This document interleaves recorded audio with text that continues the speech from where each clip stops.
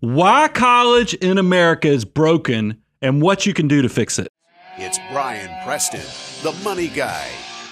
Yeah, Brian, I am excited to talk about this because I feel like this is a hot button topic. Anyone who has children, is thinking about having children, has recently had children, or is in college and recently come through college, they recognize, man, there's something going on right now that feels a little bit different. And a lot of people are questioning, is this the way it's supposed to be? Is the outcome that we're facing right now the outcome that's supposed to be as it relates to higher education? So we want to weigh into that. Well, I, have got some um, a direct connection with this topic today. You know, I just had a, my daughter graduate high school. Um, I, what's funny is we had the whole family come stay with us for that graduation, and I have a, a niece and nephew, and my niece. We were working through with my sister-in-law filing last year's taxes, trying to figure out how do you take advantage of the the the tax credits for education, who should claim it, and so forth. And I was like, wow, this thing is all around me. And then anybody who's had a senior in high school student, you probably had the same shock and awe experience I did is that when you see how much literature and advertisements that colleges send you, you're like, whoa, they're marketing this thing like it's a timeshare time, to yeah. a degree. And then, and then now that my daughter's graduated, I'm getting marketed student loans at the same pace and level that I was on colleges for my daughter. I'd be curious if others have the same experience because, you know, I'm fortunate my daughter did really good in high mm-hmm. school. Uh, you know, y'all know, uh, y'all I went on air right as I found out she got a big scholarship, mm-hmm. you know, a few months back. So I'd be curious, are all the other parents also having the same experience where – you're just shocked at how much literature of marketing and selling that colleges are doing. So it makes you wonder what's what's going on in, in colleges on, on campus all across America. Yeah, it's really interesting, Brian, because you had said that about all the pamphlets coming, and I remember that when I was a senior, they started showing. I don't remember the student loan part though. Like I don't remember getting uh, flyers of people saying, "Hey, here's how you borrow money. Here's how you take some loans. Here's how you." I, I, and so even just you know how, however long ago it was when I was in school it's changed even so much since then because I don't think that was as common as what you're seeing right now. So it makes sense. Let's talk about okay, what is the current state of college education, of higher education right now? And it's really, really interesting. If you look at the price of public universities, so this is four year public universities, including room and board from 1971 all the way through now, 2021. So what's that? A 50 year period, right? Public college costs have gone up 1,509% since 1971. So it's gotten more expensive, both in nominal as well as in real dollars, just to go to school, just to go get a higher education. Well, and it's easy to kind of point this out and talk about how bad this is for all of our students and parents and grandparents that are all part of, we're in this together. But here's what I think is going to be unique about our take on this, mm-hmm. Bo we're going to go through the history of what caused a lot of these big uptakes and then I instead of just being throwing popcorn down from the you know the the cheap seats telling people how horrible the situation is right now we're actually going to tell you how to navigate this in a very positive way but I do want to kind of continue on this path of giving context mm-hmm. to the topic because man that, that's an eye opener hearing that we're up 1500% mm-hmm. since 1971 what else is going on for college graduates yeah so when we think about what does a college graduate look like today and this this data is from college board and us today the average debt for those with student loans, so folks that end up taking out student loans for college, the average debt for a graduate coming out of school is $28,400. 66% of public college graduates graduate with student loans. So two thirds of the folks coming out of college have loans. And then the average starting salary is about $55,000 per year for a college graduate. So immediately there is one bright spot yeah. that I see here, Brian. You know, you hear, you know that our rule of thumb we always talk about when it comes to like taking out loans is we don't really want you to accumulate more debt than your first year starting salary. Well, if the average starting salary is 55,000 and the average student loan debt that a graduate's graduating with is 28,000, that seems like it's okay, right? It's in the all right ballpark, at least relative to what starting salaries are across the country. Yeah, I, but I think that the people getting that fifty-five thousand, a lot of them probably are you know, hitting actually sticking the landing of mm-hmm. leaving college, working in their field of major. I was shocked to learn 73% of people who get go start working don't actually work in their field of mm-hmm. study. They don't actually they, they graduate college and they don't even work in their mm-hmm. field of study. That that shocks me. You you said it best, Bo, in, in, in our show prep.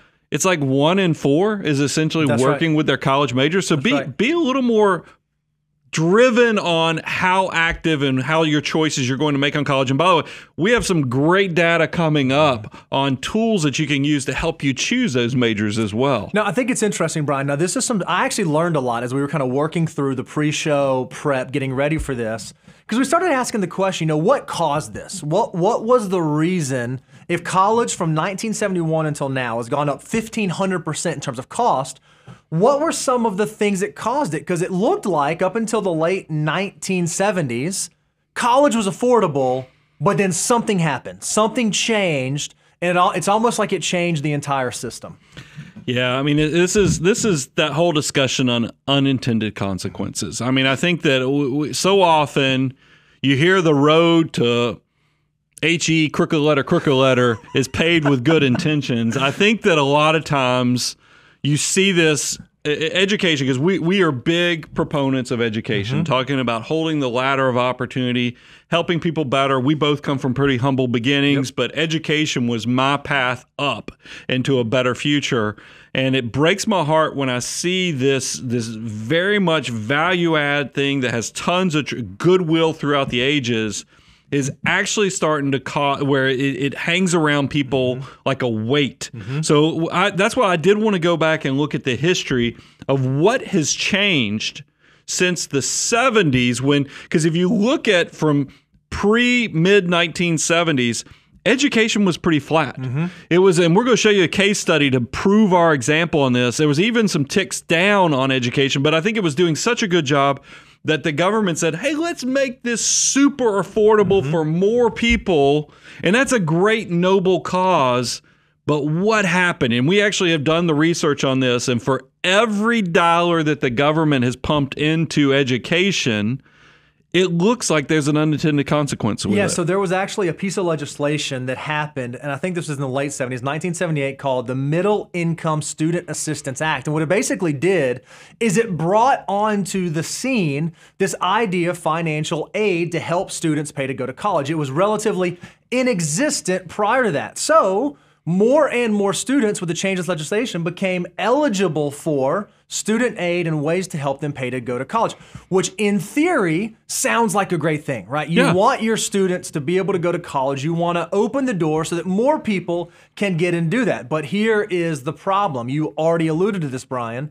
The unintended consequence was universities, higher educational institutions started increasing prices. And you just said this for every $1 increase in financial aid that takes place, tuition at universities goes up by about 65 cents. So it was not like they introduced financial aid so that more people could get into the present prices. They introduced financial aid and then prices for the actual education itself started going up. Yeah, I, I, I probed Daniel a little bit more on this, and I said, "Hey, okay, so what percentage of the student population gets financial aid?" Mm-hmm. And it worked out to be a, a little over forty percent. But if you think about that, so forty percent gets a dollar mm-hmm. of, of aid from the government, but hundred percent of the student population just absorbs this 65 price cents on increase, every yeah. dollar. So this got very expensive very quickly. And a lot of you are like, you're like, I don't know if I buy into this. So we actually have the data. We wanted to kind of go a deep dive on this because this is a big thing to say. You don't see this covered in the press. You don't see this covered anywhere because I think it's it's unpopular to say, hey, what unintended consequence that was very noble in its design has actually created a lot of bad ripple effects that now our children and our grandchildren are probably going to look at education and mm-hmm. colleges, higher education, with a completely different mindset than I looked at when college was $3,000 a year for tuition. It's different now, and we wanted to kind of show you that case study of how this all works. Yeah, and I think what's really interesting, you already sort of alluded to this, Brian, but back in the 70s, before the Middle Income Assistance, uh, Middle Income Student Assistance Act was passed, college costs were actually decreasing. There was actually a, a, a period of time up until 1978 where it was getting more and more affordable to go to college. Introduce financial aid, and then college costs have now skyrocketed. They have kind of blown through the roof, 142% in inflation adjusted dollars. And so then the question becomes okay, how does this affect the average student? How does this affect the average American? What changed in terms of individuals' ability to actually go to school and go to college now? Yeah, and I think that uh, because I want to give Daniel credit on this research he did, it was because a lot of people who are watching this on YouTube, you look at this and go, man, it, it, according to this, if, if we inflated, adjusted the price of education up to what it was, to what it would be if we, this was reasonable with where it went up, I think a lot of people would look at this and go, man, I wish I could send my kids to college mm-hmm. for about you know nine to eight to nine thousand dollars sure. a year because that's what it should be if if education had just gone up like inflation instead of it being you know, right under $25,000 a year. It should be right under $10,000 right. a year. And we wanted to kind of show you, I, I wanted to go a step deeper with this and say, okay, let's take into account, because so a lot of you go, like, what is, well, give me some context on that. So let's take into account minimum wage. How much of a minimum wage job would you have to work back in the 70s to pay for college versus where we are now? And it's going to shock you what we found. Yeah, in 1978, a student earning the minimum wage, which in 1978, Brian, you remember 78. Uh, minimum wage was $2.65 an hour. They would need to work 15 and a half hours per week to pay for college, right? So that's a part time job. It's not a full work week, it's less than half. Uh, less than half of a full-time work week. So there was this idea that you theoretically you could go to school and you could have a part-time job and you could pay your way through school. Well, fast forward now in 2021, a student earning the minimum wage at the time of 725 would seven dollars twenty five cents would need to work sixty hours a week to pay for college. No longer a part time job, even more than a full time job. So something has changed to where this thing that was attainable, that someone who maybe didn't come from uh, you know from wealthy parents didn't have a strong background they could at least you know pull themselves up by the bootstraps and they could go get a job and they could work and they could put themselves through school that is a much different, more difficult thing to do now than it was 30, 40, 50 years yeah, ago. Yeah, I mean, because just just thinking about 15 hours a week, a lot of people you could go work, as you said, a part time mm-hmm. job, mm-hmm. still have a, a complete enjoy your college experience. That seems very healthy. Yep. Now, and a lot of you, I, I, could I could sense you're probably sitting out there and you say, okay, seven and a quarter. I know that's minimal. That's the federal minimum mm-hmm. wage, but nobody's actually making seven and a quarter now. So we even pushed it up to, to ten dollars an hour to see what that did to this calculation. And guess what? It still worked out to be over 43 hours a week. Still you would have to time, work yeah. full time, which is impossible. Because I can't imagine working a full time job and then doing a full load at college it's just this is why I'm telling you for younger people right now, you're carrying a bigger weight than what was pushed on people for the higher education yep. in the past. And there's got to be some pushback on this. There's got to be some change at some point to to address this. And that's one of the things we we wanted to to talk about it because I think that and look, I don't want to spend a ton of time on this, but it is interesting to me that we're having a lot of discussion about student loan mm-hmm. debt.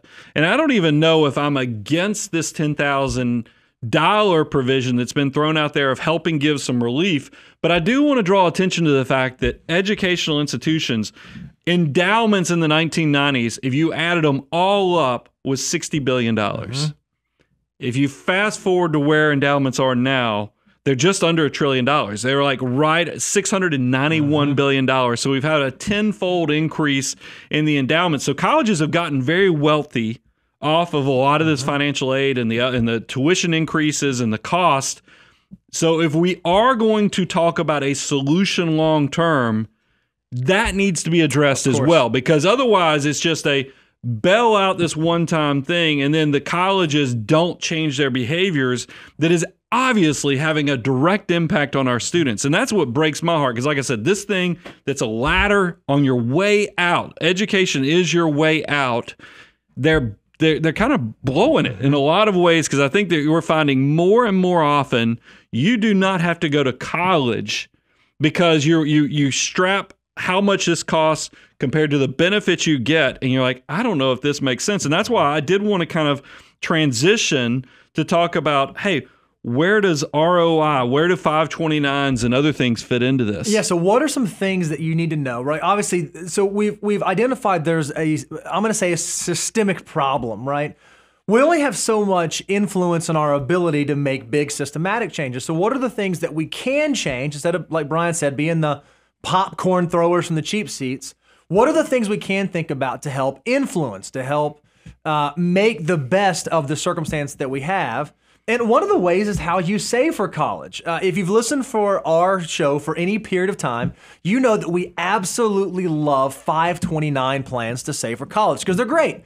You put money in, the money grows tax deferred, meaning you don't pay tax on that money while it's growing. And then when you go to pull it out, so long as it's used for qualified higher educational expenses, which is wide ranging now, not only is it tuition for colleges, but there's vocations, there's trade schools, you can even use it for K through 12 private. If you use it for those qualified educational expenses, then it's completely tax free. So it's a really, really tax efficient way to go about saving for college. So then the question that people naturally ask, all right, in, I like it, I want to do a 529 how do I do it? Where do I do it? What do I need to know about specifically about 529? Yeah, and, and we do. We get very excited about 529s. We even it's part of our financial order of operations. We do say this is a step eight feature Yep. because we want you saving for your retirement first. You know, it's back to the oxygen mask on yourself before you put it on your children. So you want to make sure you're on stable ground. But it is one of those things where 529s have gotten a lot of attention also from our legislators in the fact that they've expanded their mm-hmm. benefits, trade school, K through 12. But we like, I, I'll, there's several resources. I like savingforcollege.com is a great website. I also like that Morningstar rates there and ranks some of the top 529s. Every year they come out with an updated study. And but I got to tell you, the names that sit at the top are pretty consistent. perennial, and, and, the, and the three that, that kind of stick out is Illinois has a, a Bright Start college savings plan. Now, now here's something I do want to draw attention to people states can have multiple 529s. That's right. So make sure you pay attention to which one we're talking about because there are differences. Because I know Illinois has multiple 529 plans, but the one we're talking about that Morningstar raves about every year is Illinois, Illinois Bright Start. Bright Start College Savings. It looks like Michigan. I'm not as familiar with that Michigan Education Savings uh-huh. Program, but one that shows up, I feel like every year since 529s kind of came to be, is the Utah, Utah plan, My yep. 529 plan. I believe Vanguard is the is the is the, the provider on that plan. Pay attention to those things. I think you'll see that there's a lot of opportunities. And here's what they use in that criteria: is that hey, how well researched are, are, is the asset allocation approach? How robust are the investments? What are the costs? You know, so you have a really strong options, low internal expenses, minimal fees. Mm-hmm. This is the stuff that, that that leads to a very robust 529 offering. And so Morningstar does this great job of classifying them and giving them ratings and letting you know which ones are good. But the question you may have is how do I know? Like, how do I know what 529 plan is the best for me? So we think before you decide on a plan, there are a few questions you need to ask. And one of the easiest questions that we think makes sense to ask at the very front end of your 529 investigation is Is there a tax benefit in the state that I live in to participate in the plan sponsored by the state? And we found this great chart that shows a very simple case study around tax benefits from state 529 plans. And this is what it said it says this assumes there's a couple who file a joint return making $100,000 a year in taxable income, contributing $100 a month to two 529s for each of their kids. Uh, and then the calculations make some tax return assumptions. And it basically says okay, if this is a Georgia resident with this profile that participates in Georgia, this is what their tax benefit will be. If this person lives in Illinois, this is their tax benefit. If this person lives in Colorado, this is their tax benefit. This is a really neat tool to use to figure out okay, based on where I live, does it make sense for me to use a 529 in the state that I live in? For you and I, Brian, we both used to live in Georgia, so we would always use the Georgia 529 plan because there's a state tax deduction to do that. Now that we live in Tennessee, where there is no state income tax, there's no tax benefit, we're no longer captive to a state plan, so we can go anywhere out in the country. You know, for my girls, just like you said, because it's a perennial top one, I use the Utah plan. A lot of folks in Tennessee like to use the New Hampshire plan because it's housed at Fidelity and it's super, super low cost. So you need to answer the question Is there a reason for me to stay in my state because my state has a specific tax benefit I should take advantage Well, of. Well, and I want to give you credit, Bo. You found, uh, you and Daniel worked while I was out of town and found this great chart that shows the tax benefit by state. Um, for those that are listening on podcasts, though, I want to make sure we give them some clarity on this. P- feel free to go to, and check this out. If you go to moneyguy.com, you can actually, we have link backs to all of our videos.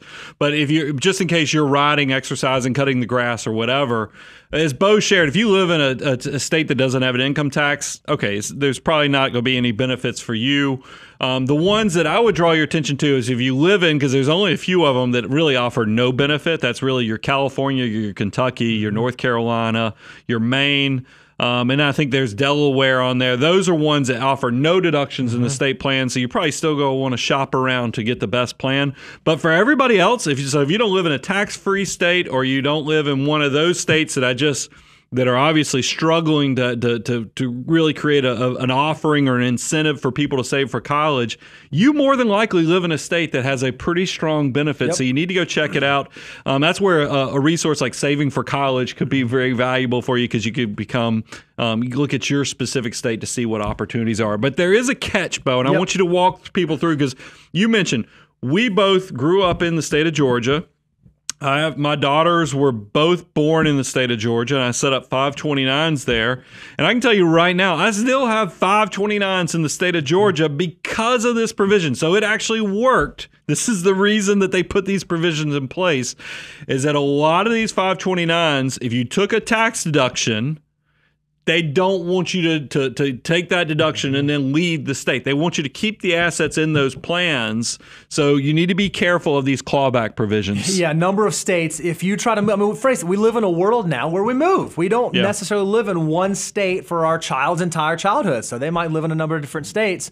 If you were participating in a state's plan and receiving a benefit, you need to be aware if it's a recapture state, like the state of Georgia is. And what that means is if you move to another state and you try to roll the 529 from the Georgia plan into another state's plan, you might actually have to pay back the tax benefit that you receive. So if you're out there on iTunes, iHeartRadio, Stitch, or any of the audio places, we have a map right here that shows states where you can go anywhere. You can literally uh, take your money anywhere you want to do. We have the states where you can get a state tax deduction, but when you leave, you can take the money with you. And then we have the ones you got to be careful of the recapture states, the ones that will claw back that benefit. So you kind of need to answer two questions. One question is Does it make sense for me to participate in the state in which I live? And the second question is, is If my circumstances change and I move to another part of the country, is this a plan that I can take with me? Or, just like Brian has done, is this a plan I should leave behind? And there's nothing wrong with leaving it behind. You can still use the funds at any college across the country. It's not like if you have a Georgia plan, your kid has to go to college in Georgia, although they might want to because University of Georgia is amazing. but you can use those funds for anywhere else in the world that, or anywhere else that is qualified educational expenses for your kids. So you need to answer those too.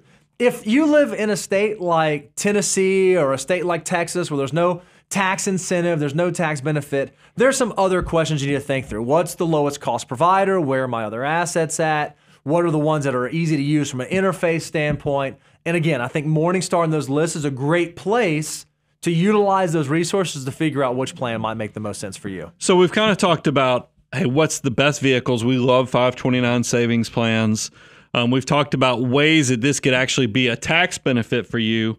I want to kind of pivot to the the big decision because you, you've you've heard me. What's funny is I have to be careful because I've had people call me out because they knew some of the private conversations that I've had on these topics. But it's degree ROI because I think it's kind of cruel that we say, hey, pay attention to what you major in. So if you have a a child or you're maybe you're the student yourself or you have a grandchild. This is why this hits so many. We all have relatives or mm-hmm. friends or somebody we know that's trying to navigate making these good decisions.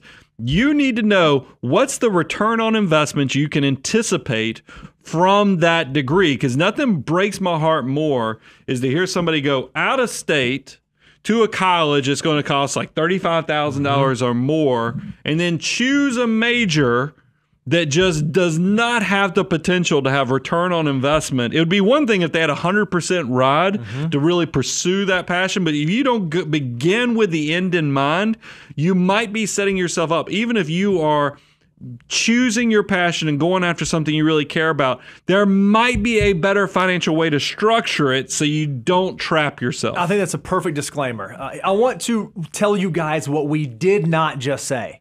We did not say, hey, only pick a major that's going to pay you a lot of money. Only Yeah. go find something. No. When you decide on the college that you're going to go to, make sure that the cost you're going to pay for the education you receive is justified. If you want to go into a unique, very specific major because it's what you're passionate about, what you love, that's great. Perhaps you don't have to go to the most expensive school in the country to do that. And it makes sense to have that conversation before you get to school to make sure you can make a sound and prudent decision. Well, I've been talking about this and I'm fine tuning as I go through it each time. Is when I went through college, and this is what I tell everybody be careful of the Hansel and Gretel effect. When I went to college, you went to college for the education, and the memories was kind of a a, a built-in benefit you got. It wasn't the cinder block walls that you lived in. Mm-hmm. It was the people. It was the education that gave the superpower to it.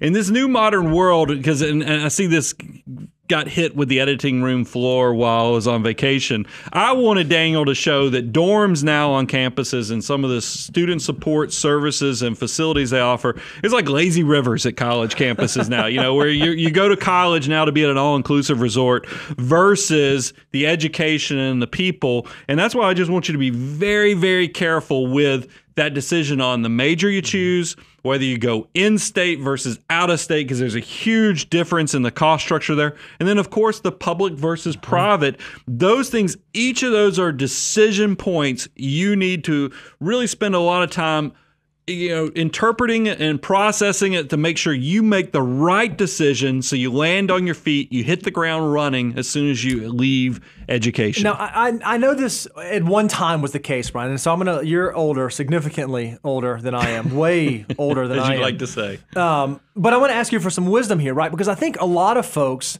college used to be the default, right? Like I got out of high school, I don't know what I'm to do, I don't know my next step. I'm just going to kind of default to college. But back when college was more affordable and it was easier to do that, it was okay. It wouldn't set you back. I worry now that today's present day graduate, if their default is, oh, well, I'm just going to go to college, I don't know what I'm going to do, I don't know what I'm going to study, I don't know what I'm going to figure out. There's a chance that that default decision can have a price tag of tens, if not hundreds of thousands of dollars that you will take into the next 8, 10, 12, 15, 20 years of your life. I think you have to approach it a little more strategically, perhaps, than we had to approach it 20 years ago. Well, years ago. if if like you're if you don't know where you're going and you just went to because like here in Tennessee, you can go to a local community college and the state of Tennessee will actually cover your costs. It'll Yep. be a full ride. I think there's nothing wrong because that that period of time where you're trying to figure out your next step. It doesn't hurt you mm-hmm. financially, but for we we already know the stat that 73% of people do not actually go and join the workforce with using the college degree that they have. Mm-hmm. So a lot of people, you know, you have to ask yourself. Like I, you know, the example I've used in the past has had a friend who is saying that their child wants to go into broadcasting, mm-hmm. and I'm like. Do you even need to go to college for that? I mean, because there's a lot of certifications and other things that you can do um, in this new modern world that might get you to the exact same place without the six figures of student loan debt that goes with it. And then we even went a, a step further, Bo, and, and I want to give you kudos because we're going to share a tool that a lot of you are about to spend a lot of time on. You're going because I found myself spending 20 minutes just poking around this website that Bo found. It's going to be a tremendous resource. So go ahead and get the pen and paper ready when we share this resource in a minute. But in the meantime, we wanted to show people what are some of the worst majors you mm-hmm. can do? What are some of the best majors? Because that return on investment, what you're paying for mm-hmm. education, you should go into that that that whole experience knowing what you expect to get out of it on the other side. Now, and I want I want to clarify again because I don't want to come off as we're being mean or insensitive. These are not the worst college majors in terms of oh, it doesn't make sense to do this. It's just based on what you can expect from an earnings th- uh, earning standpoint when you get out of school and how difficult it would be to pay off student loans if these are majors you pursue. And all this is from the uh, from the Brookings Institute, and this were these were some of the worst college majors: uh, drama or theater, based upon return based on upon investment. return on investment and paying off, not worse in terms of don't do this for a living.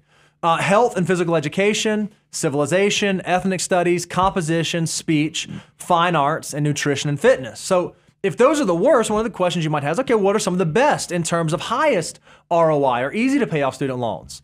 Uh, engineering, nursing, operations and logistics, computer science, finance, economics, construction services, special needs education, and then, Brian, I know you're happy to see this one, accounting and actuarial sciences. So you can kind of have this broad view of, all right, if I think my child is going to go into this field, does it have a higher ROI type number? Does it have a lower ROI type number? But maybe you want to be really, really specific and really granular. Maybe you want to say, man, I think my kid wants to go to school at this school in this town and study this major.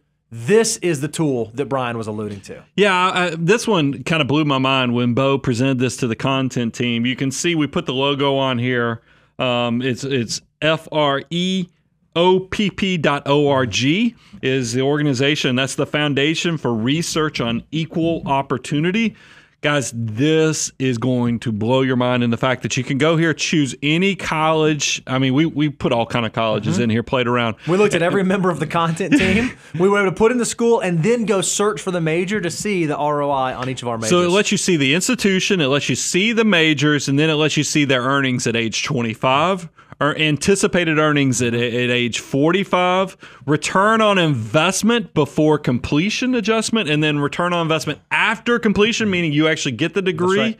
and then return on investment adjusting for completion and underlying total other costs spending all the other it. things that come into play guys this is a valuable resource because it's one thing for me to tell you hey begin with the end in mind and you might go that's great guys that y'all can give that general guidance but how do i get into the actual minutia of data points Mm-hmm. to make this decision this is your answer. R- F R E O P P dot O R G. Go take advantage of what is the financial value of my degree tool that they have available on their website. It's truly incredible. And this is how we use this practically. We have uh, clients whose children are thinking about going off to school, or even family members.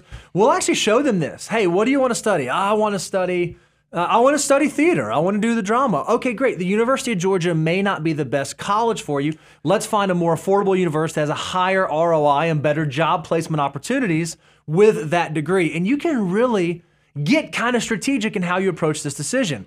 For a lot of 17, 18, 19 year olds entering into college, this will probably be the largest, most expensive decision you make until it comes time to buy a house or something like that. So you want to make sure that you're going into it in an intelligent, well thought out manner, mm. just not willy nilly, because there's a big difference in a million dollar ROI for a degree and a negative $200,000 ROI for a degree. Well, I think it's interesting. Just looking at how this website's set up Mm-hmm. is, in we chose University of Georgia because we're both college grad, UGA grads, and so is Daniel from the content team. And I thought it was interesting. Like we chose drama. This, according to this, drama is going to have a negative return on investment of one hundred and sixty thousand dollars. Meanwhile, computer engineering. So we chose one from the worst majors, one from the best on based upon return on investment. Computer engineering had a million seven mm-hmm. positive benefits. So there's all a one close to 1.2 million dollar spread between those two degrees. That would be so valuable to know going in because if, if I was somebody, because look, drama, I was the drama kid in high school. You know, I I, did, I was. I I did. know, a, I I did a lot of. I did a lot of drama in high school. It was something that I, that I would have probably, if I wasn't so nerdy with math and other things, that I would have probably because I loved that whole thing. Hence, while we're doing a podcast and other things, it lets me, you know, do my art kid stuff and dramatic stuff on here. But I think it would have been very valuable because if I could have seen, hey, the ROI at the University of Georgia is actually a negative 160, maybe the way you compensate, still pursue your passion, but maybe I should go to community college for the first two years so that I would enter into the major at the University of Georgia with two years already under my belt with Mm-hmm. Yep. zero debt and I would be in a better place. Or like Bo said, maybe University of Georgia is not the best place. Maybe we ought to go compare this to other colleges in the surrounding area to see if they have a better ROI because it might be the fact that because I know when I graduated with an accounting degree at Georgia, everybody who graduated with an accounting degree had a job already placed because that's where all the big accounting firms came and and grabbed all the graduates out of those programs. So it does matter where you go to school for Yep. different majors because you might be a feeder program for certain industries. Pay attention to this tool. I'm going to repeat it once again F R E O P P dot .org. This is going to be the tool that actually lets you get into the minutia of that decision making. Go enjoy the hours you're now going to spend on this with your family, friends, and loved ones to make sure they're making the best decisions possible. All right, Brian. So we've talked about what you can do before it's time for college. Like you can save, you can choose your degree, you can help educate your children. Let's talk about some of the things you can do while your child is in college. And this is kind of you are the expert on this right now because you are literally living in No this moment right now, right? So there are a few things you can do while your kid is in college to help pay for it. One of the very first things we talked about were tax credits. Yeah, tax credits are. Is, is, this came up recently. Like I said, I had all my family in town for um, the, my my oldest daughter's high school graduation, and this came up because my sister in law was working through taxes, and uh, and as, as I've shared, I have a niece who's in, in college. Um, and I'm kind of hoping that down the road she might go into the wonderful world of finance. She doesn't. She probably gets tired of me nudging her that direction Oh, all the time. you telling her I know. I'm, I'm very opinionated about things. But but here's the thing: I was trying to explain when we were looking at the different tax returns. I said, look, we have to coordinate 529s. We have to coordinate the tax credits because there's two big ones out there. There's the American Opportunity Tax Credit, which is considered the better of the two because it gives you much more benefit. And then there's the Lifetime Learning Tax mm-hmm. Credit. And I wanted to kind of give the quick overview of what these two tax credits are. And then we'll kind of close it out with how does this integrate with a 529 Great. plan? Because hopefully we've all been saving. So these American Opportunity Tax Credits are very powerful because here's the maximum benefit. You can on the American Opportunity Tax Credit, you can get a $2,500 benefit on $4,000 of expenses. And the reason it works out, that math works that way, is that it's a dollar for dollar credit on the first $2,000 you spend for, for college. And then it's a, a a 25% expense on the next $2,000. So that's how you get to that $2,500 total credit. But you can imagine, so it doesn't, if you, at, at a minimum, you there's no way in the world that you should do anything that blows up you getting to get this tax credit. Because mm-hmm. remember a tax credit's different than a tax deduction. A tax deduction means it lowers your income and then when they calculate calculate your tax rate tax rates you're probably getting a 25 to 30 percent benefit mm-hmm. off of it a tax credit is a dollar for dollar reduction in your actual taxes so this is a huge valuable benefit so pay attention to that american opportunity credit it is available for the first four years that you're that you're in school now, the lifetime learning credit, it's not as powerful. It's $2,000 maximum benefit. And the way it mm-hmm. works out is it's 20% up to $10,000 of expenses. It now, I, I said first four years on the American Opportunity Credit. Lifetime Learning Credit comes into account for somebody who maybe is going for graduate school or you're an older person that says, hey, I need to go back to college to retrain myself on things. You can use that lifetime learning credit, but it's going it's going to be 20%, not the dollar for dollar or 25% of the next 2000. And here's another thing that I think is interesting. And this is the part that happened with my sister-in-law and my niece is we were trying to figure out who should take the credit. Mm. H- Who takes the credit? Does the student take the credit even if they're working out there full time or do the parents who paid for it? And you do need to take this into account because the parent in a lot of situations, they'll be able to take the full $2,500 because they have enough income to justify it. Whereas the child, like, because this was the case I had with my niece, she was only going to get a 40% refundable benefit because, you know, when you, you don't make a ton of money, you usually get back all the taxes you mm-hmm. paid plus a little bit more if you have some of these credits, but you can only do four up to 40%. So this was going to be like an $800 benefit to my niece, but it could be a $2,500 benefit to my sister in law. Pay attention to this mm-hmm. part. The refundable matters. By the way, lifetime learning credit. Once again, it's just not as powerful because it none of it can be refundable. So if you don't actually pay income taxes into the system, you're not going to get a benefit from this. So it, it's not refundable. Both of these have income phase outs um, for for the American Opportunity Credit. Eighty to ninety thousand dollars for single individuals. Married filing jointly is one sixty to one eighty is where those phase outs are. For the lifetime learning credit, it's a good bit lower. Single individuals, it's fifty nine thousand to sixty nine thousand. For married filing jointly, it's one eighteen to one thirty eight. And then here's the, the the big closeout on this. How does this all integrate into five twenty nine plans? you can use both 529s and tax credits, but not for the same dollars. Mm. So that's why I always remind people hey, if you are going to qualify, your income is below the threshold, you have a child that's in the first four years of school.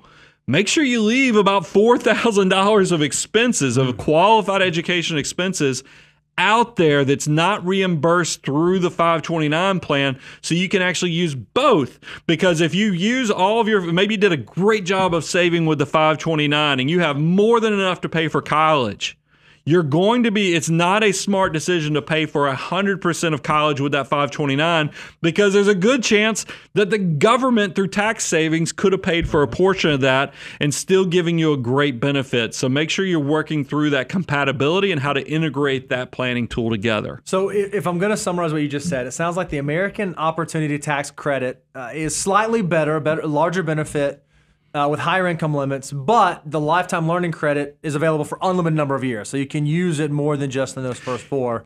You can only claim one educated education tax credit per year. You can't do any double dipping on that, right? right Uh, and uh, you can't double dip in terms of 529 expenses. So you have to use it for distinct expenses. So it takes a little bit of planning. This is probably something you want to think through, not on April 14th when you file your taxes, but probably back in August when you're actually paying for the college expenses, right? A little bit of forethought needs to go into it. Yeah, and I think like packing a punch, like American Opportunity Credit, if you want to integrate that with a 529, you only have to you only have to leave four thousand dollars out there for the government to qualify for that credit outside of your 529 reimbursement.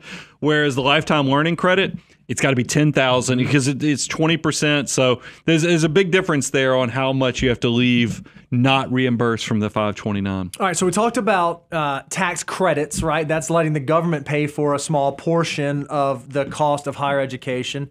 Another thing, and this is something that's like super, super, I mean, this is kind of the whole reason we're having this conversation, is financial aid. Now, uh, rather than going through a deep dive on financial aid and specifically on the FAFSA, we want to point you to a resource. If you go to fyi.moneyguy.com, Daniel did a full write up. FTE Daniel did a full write up on everything you need to know about the FAFSA, what you need to know, how to fill it out, tripwires to make sure you watch out for. So I would encourage you, if you do have a student who's getting close to or preparing to go off to school and you're thinking about financial aid, whether it be on the needs based or merits based side, go read Daniel's blog post on the FAFSA, and it'll be hugely valuable to kind of walk you through all the things that you need to know. Yeah, and a teaser just because I think this is important to give a little bit of information on this because I do encourage everybody to go to fyi.moneyguy.com to check out Daniel's deep dive. But a lot of you are probably saying, give us a little, some of the breadcrumbs on how 529s and mm-hmm. financial aid. I can tell you, Cliff Notes. 529s do have a direct impact on your financial aid calculation, whether it's the the student or the the parents having those assets. So a lot of you, you know, a hack that you want to consider. Now there's some some caveats to this because it could impact the timing of this. And Bo, I don't know if you want to give how far you want to go on the breadcrumbs, but there is the grandparent 529 hack and the fact that it doesn't, you know, they don't ask you about grandparent assets, but here's the catch pay attention to when you actually use those benefits from the grandparents. It does roll through this FAFSA calculation, so you might want to wait until that junior and senior year. And we explain that. I think Daniel might even lay that out in his um, "Your Complete Guide to FAFSA" um, write up on it. Might make sense to, to to save those grandparents money for reimbursement in the in those second two years. Yeah, another thing. This isn't a little grand, grandparent hack. Since you, we're talking about grandparents, you know, one of the things that I encourage uh, my folks to do, right, if they ever want to make a contribution to my girls' 529s, maybe for birthdays or whatever, you know, I live in the state of Tennessee. There's no state tax benefit for contributions they make. It would make a lot more sense for their grandparents to open up 529s in the state that they file taxes in and make contributions into there so they can get a tax benefit. So that way, at least someone can get it.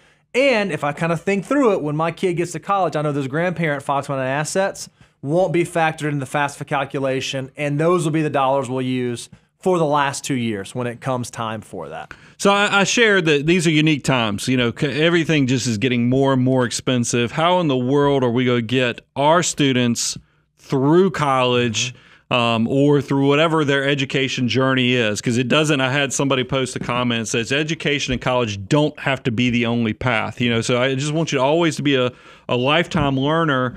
But it is one of those things I wanted us to kind of close out with some out of the box ways that you can navigate this this expensive cost of education in very creative ways. And we actually have some case studies Sure, yep. right here at Abound Wealth as well as with my own relatives. And I was so impressed, like my, my niece.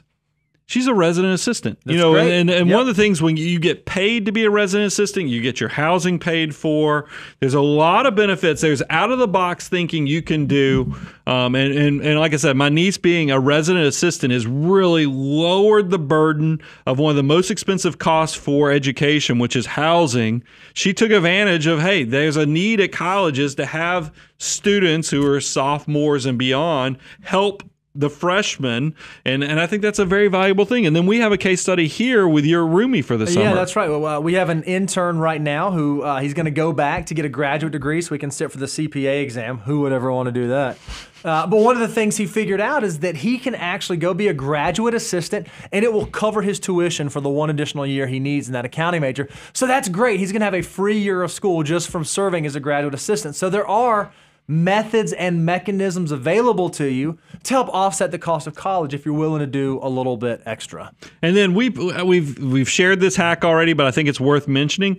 You know, your diploma when you graduate college, nobody ever asks you, "Hey, did you go all four years of that college, or did you um, Just matters the did one you do printed the paper. Yeah, did you do community college first to kind of cut the the edge off of the cost? Because a lot of states do, you know, community college is substantially cheaper than the four year um, relative, and that you can still transfer. Actually, they prioritize a lot of the the the, the community college transfers into the state programs, and your diploma looks exactly Yep. the same as everybody else. So that's a way to really cut the cost down dramatically.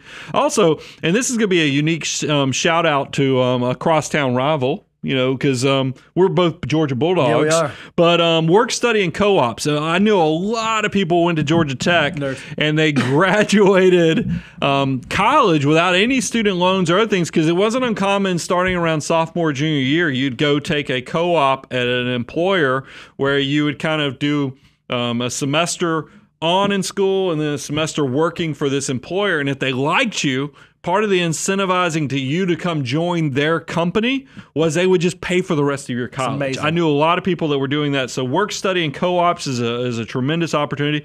Live off campus. You know you could always i know uh, living in mom and dad's basement is not the greatest thing but there's definitely if you can cut the edge off through being a resident assistant or living off campus you might save yourself some money. Back when i was in college you know there were a lot of paid note takers. You know Oh, pay attention to. If you're a great student and you're meticulous about your note taking, consider hey, are there services around town that help people who are dyslexic or just helps the kids that don't want to study as hard as you?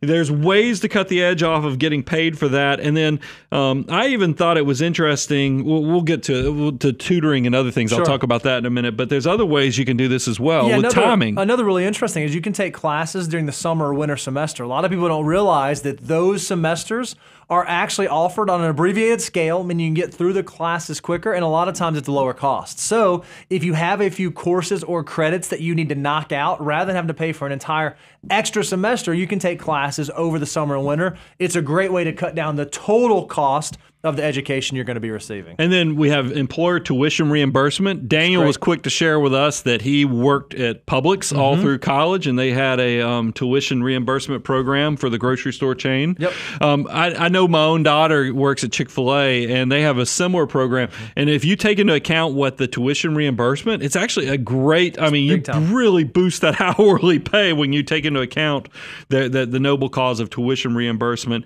And then here's the last one: is uh, tutoring other college students. And I was very quick to share with the, the content team. I had to get tutoring in college. The uh, my senior year as an accounting major, I just couldn't make governmental accounting work. So I actually had to go hire thing, um, nobody a fellow can. student to help me on tutoring. And I actually, that's a, that's a bad, I- I'm actually proud of that. You know, That looking couldn't at how our government is run and stuff now, I'm like, maybe I have too much common sense that that governmental accounting course just never kicked in or made sense that, that I needed to get a little extra um, help on, on that. But so if you're, if you're great at some of those things, feel free to help other students and you can even get paid to do that and um, help, you know, help cut the edge off of cost. Yeah, here's the thing. College is a decision. You know, it's changing. It's rapidly changing. It was different when you came through, Brian. It was different when I came through, different when Daniel came through. It's going to be different when our kids go through. So what we have to do is make sure we're equipped to make the best decisions possible given the system in which we're operating. Right now, the tips that we've walked you through, thinking through how am I going to save for it? How am I going to pay for it? How am I going to encourage my child or my student? Or how am I personally going to think about the degree that I go get? All these decisions are going to have huge impacts on the rest of your life. So you should make sure you weigh them heavily to make sure you're making sound financial decisions that don't put you behind getting your jump start. Yeah, I, I still look at education as being a way out, an opportunity, but I do think we have gotten to the point now where you need to be much more deliberate with your planning. It's um, and, and it's a shame that we have to put something so heavy on people so young, um, because once again, people who maybe don't have a, a don't come from a house where education was the the driving factor, you're just not going to be able to navigate that as easily as somebody where education was so powerful for the previous generation. So I hate that that's the point, but I'm just telling you, hopefully you found a source like the Money Guy Show or other things in these resources. We've given you now the tools that you can go ahead, begin with the end in mind, start running those plans, start preparing for where you want to be. Because that's the way life is going to work as mm-hmm. well with your financial assets and everything. Whoever is actually putting in the work, preparing for where they want to be, it's back to that begin with the end in mind. You will be rewarded for that sacrifice and that commitment and that time that you put into it. So go use these resources and tools and turn education back into a benefit and the, the, the, the starting blocks for your future successes so you don't have to be one of those case studies where people say, hey, the fork in the road moment that took out my financial future was this decision to go to school here or to mm-hmm. choose this major. We've given you the tools to do this right. I'm your host, Brian Preston, Mr. Bo Hanson, Money Guy Team, out.